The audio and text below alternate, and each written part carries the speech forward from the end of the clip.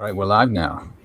Vince, thanks for coming on our first ever Legal Lunch Byte. We're not new to this process. We did 100 episodes of our firm's blog during COVID. We took a bit of a hiatus. Uh, we're retooling now a little bit just to try a new format, new guests, new questions, and certainly we're in a different time of life now as we were during COVID. So I'm excited to have you. Maybe you can uh, provide an intro to folks who don't know you, since I'll be a regular face on this, but uh, but you'll be a, an intermittent face. So maybe you can provide everybody a little bit of a background on you, where you came from, uh, what you're doing now, and and uh, then we get into our topic today, which is going to be the cannabis outlook for 2024. Sure. Yeah. Thanks for having me to the inaugural. I'm I'm happy to be here, and happy New Year, Jonathan. And, Thanks and you too. Yeah. So my name is Vince Sliwoski. You can probably see that on the screen. I'm one of the partners here along with Jonathan at Harris Sliwoski. I am in Portland, Oregon, and uh, my practice is business law, general business law, meaning not litigation, helping businesses do things, and commercial real estate. And that's kind of what I've done my whole career. And I'm highly specialized in a couple of industries cannabis and psychedelics. We have robust programs for those controlled substances here in Oregon. That's what we'll be talking about today, in my understanding. But that, in a nutshell, that's who I am and, and, what I do. And I've been doing that. I've been a lawyer for 13 years now. I like you describing yourself as a lawyer who gets things done. I feel like that's what my practice entails as well. It's more, we have clients with good problems and bad problems, or, or good problems and difficult problems. And getting them from A to B is really what I enjoy doing, helping them get through it in a way. Um, you know, after you and I've been practicing for, I think I'm in my 12th year now. And, uh, and I forget sometimes how how much cyclicality there is for us in our work and, and what the value is for lawyers who see hundreds of transactions compared to our entrepreneurs that see certain deals only once or twice in their lifetime. So, and it's certainly interesting to be at this nexus of cannabis. I mean, you've been involved in cannabis since how early in your career? Really early, maybe second year, kind of accidentally. We just had a client walk into the firm that nobody else would work with at the time. And my boss said, Are you okay with that? And I said, Yeah, I think so. And, you know, because I was willing to work with that guy, he started referring other stuff. And I just sort of wrote what became a pretty big wave eventually. So, um, yeah, I've been doing it my whole career and, and followed along and kind of written about it almost like a historian over the years and have a big archive of how our program's gone in Oregon and what's happened federally, I guess, since that point, which has been strikes and gutters, I guess. And we could talk about any of it if you want, or or just looking forward to 2024. Yeah, I'm very interested because when I joined the firm four or five years ago, I had a little bit of cannabis exposure and uh, and tied in for a couple of years pretty hard on on M&A in Washington. So I got a very interesting viewpoint as well. Uh, and and uh, but you've always been the one who I've looked to for uh, you know, all of us, I think, have said, okay, if Vince, Vince knows what's going on, let's get Vince's take on this because you've, like you said, you've been breathing it, living it for almost your whole career. So maybe start with Oregon and, and differentiate Oregon a bit from from surrounding states, maybe California, Washington. What makes Oregon quirky in its own way, and then maybe we can eventually branch out to other interesting states or developments that that you're going to see in 2024 and, and maybe even international if we have a few minutes at the end. Sure. Yeah. Oregon's an interesting state. It's always been kind of a vanguard state for cannabis. Um, without going too far back, I can say that we were the first state to allow non-residents to own these businesses back. I think that was in 2016 or something like that. So it's always been a pretty open market.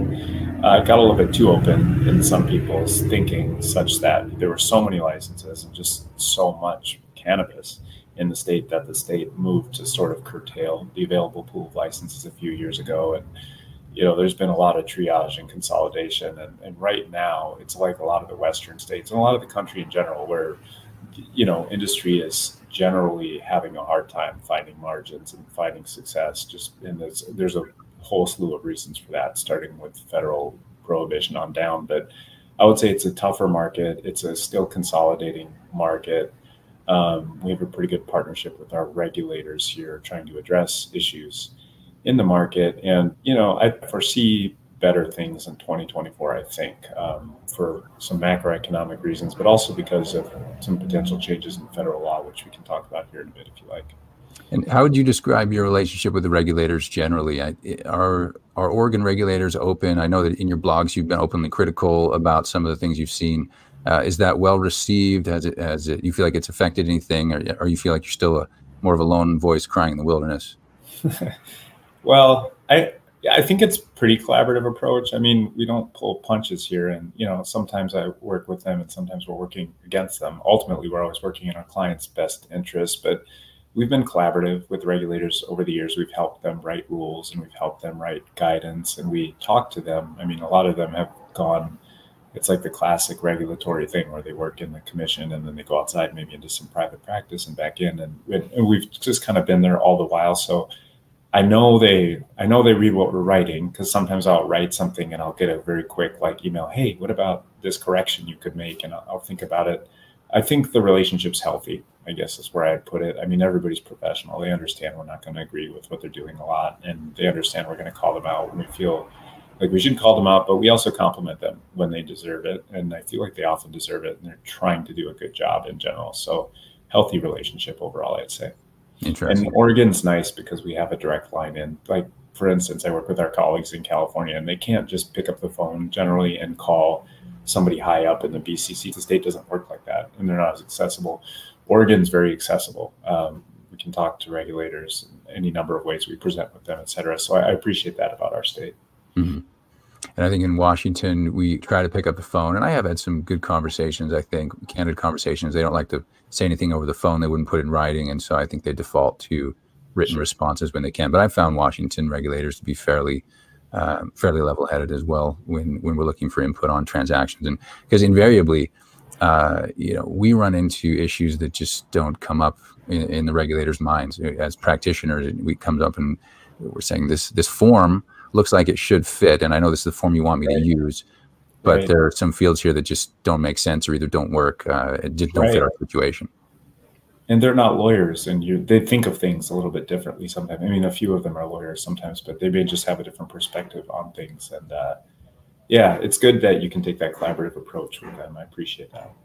So let's go turn to national then. I know there have been some some big changes. I think rescheduling, or at least discussion about rescheduling, uh, has been going on for years.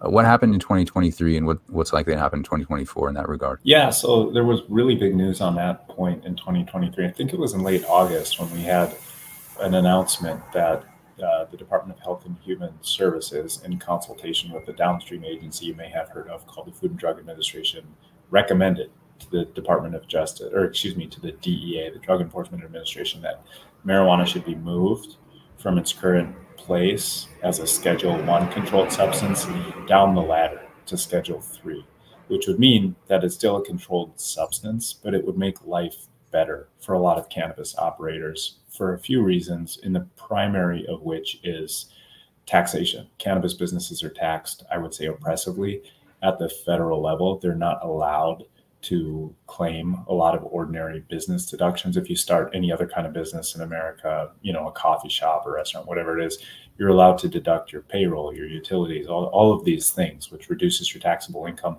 Cannabis operators generally can't do that, with the exception of a narrow category of goods. I'm not going to geek out further about that, but I'll just tell you that they're taxed differently and more heavily than other businesses. And if marijuana moves to Schedule 3 per this recommendation, that would change, and that's a really big deal. So, I mean, we'll see. It's kind of a, and it, it's the whole process is pretty opaque. Uh, the memo that recommended this descheduling was released, but so heavily redacted as to be, you know, hardly beneficial to read.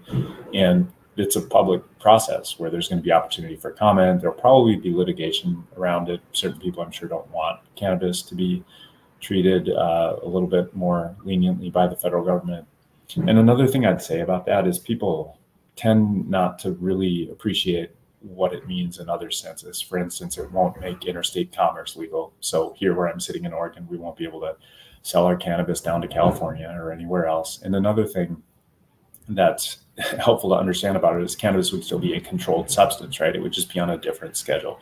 So if you think of other Schedule 3 controlled substances I talk about, you know, codeine, anabolic steroids, it would be on the same level as those. And it would still be kind of a funny federal state tensions where you have all of these shops.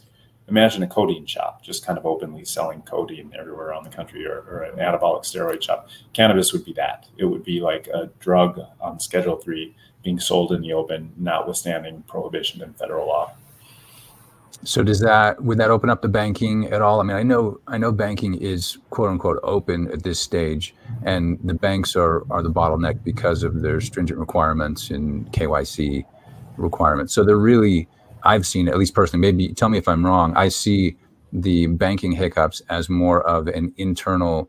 Um, banks decide their own risk profile that cannabis just isn't worth it, and so that's been a limitation. Is is there more than than what I'm describing? If it goes to Schedule 3, I don't think there will be huge changes. I think there may be changes faster if we get federal legislation on banking passed, like the Safe Banking Act that has gone through the House like seven times, but seems to fail every time to get a Senate hearing. And finally made it through the Judiciary Committee last year, which is big news, but it never quite gets there. I think that would be the change that banks need to really bank these businesses like broadly and openly and publicly. Right now, I mean, the industry's banked in a sense. It's mostly smaller state chartered credit unions. It's more limited services. It's more expensive and cumbersome banking. Um, but I think a move to Schedule Three wouldn't really fix that. Uh, that's, I mean, it's it, we need some sort of change in federal legislation to fix that, not administrative action. Okay, so we are we're trying to keep this to 15 minutes or less. Okay. So we're already at, we're already 10 or so minutes in. So I want to mention one thing, which is you do have a Canna webinar coming up next Wednesday at, at 12 PT. Do you want to yeah. you want to give a little preview on that? Yeah, that it's going to be me. It's going to be uh, two other partners here that we have. Griffin Thorne down in our Los Angeles office. He's a business uh, attorney like me, and he also is licensed up in Washington. And uh, Jesse Mondry, who's here in Portland with me, and he's a litigator. So what we're going to cover is just trends that we're seeing in the cannabis industry currently, and what we expect to see in 2024. And those are pretty smart guys, and they they've done a lot of public speaking. I'll be interested to hear their perspective. But it's going to be a free flowing uh, Q and A type webinar, and it's free to attend. So people can submit questions in advance, and we'll pick out the ones we want to answer that are good, and we'll answer them. And or people can just type stuff into the live chat, and we'll deal with it as we go. But I'm, it'll be an interesting hour, and uh, I'll look forward to that. So yeah, sign up should be on our blog. Excellent, and, and we can drop the link for that sign up in the in the comments of this video as well when when we uh, republish it. Uh, all right, so last question then: What's happening internationally with cannabis? Oh, good question. So, a lot of things are happening internationally with cannabis. It, the the restrictions were removed to some extent on some of the cannabis trade a couple of years ago now. We've been helping clients do interesting things like ship seeds uh, from the U.S. to Europe. You never used to be able to uh, comfortably do that with a like a sufficient legal basis to do so, but based on like a DEA letter from early 2022, people are taking the position now that marijuana seeds, even if they'll grow up and germinate into big old flowering intoxicating plants, that those are not actually controlled substances, the seeds themselves, until they germinate. So people have been sending those across borders, big companies. We've been helping them do that. We have a pretty developed international trade practice here at the firm, and I, you know, have to rely on those guys heavily with some of that stuff. But um, so that, that's been interesting, and just you know, restraints of trades are a little bit less than they were. And then you just have other countries continue to liberalize their laws and come on mind. I think foremost right now in most people's minds would be Germany, um, just because it's the biggest country in Europe, essentially the biggest economic engine, in my understanding, in Europe. But you've just got stuff going on all over the world with, you know, medical cannabis programs. And cannabis is uh, under international law can be studied for research and scientific purposes. And it's essentially acknowledges medical marijuana, which is something we don't have here in the US. So it's just a different game and it's fun to watch that evolve and it's fun to watch you know different com- countries take different approaches and watch the international trade uh, regime sort of build out. And i should add that you know people are already trading in hemp and that's another part of the cannabis plan we we talk about frequently here. That's great. I have been involved in some of those cross-border discussions. I'm always interested to see which clients are doing what and and how quickly they go international or finding partners international that want to do some kind of collaborative effort. Uh, mm-hmm. It's been very very interesting and and certainly more much more international than I expected when I first started working in the cannabis space. So sure. um, we're we're at our time, Vince. I want to thank you for spending a few minutes. Hope that everyone who tuned in today found it valuable, and we'll be spinning up other topics later of a of a wide variety based on things we're seeing in our different practice areas. We'll touch on China. We'll touch more on cannabis, China to Mexico, China to Latin America, China to uh, Southeast Asia, just anything and everything that's uh, that's noteworthy. We'll find uh, certainly no shortage of things to talk about, and uh, hope we get to have you on again before too long, Vince. Great, thanks for having me. Thanks a lot. All right, thanks, Vince. Thanks, everyone.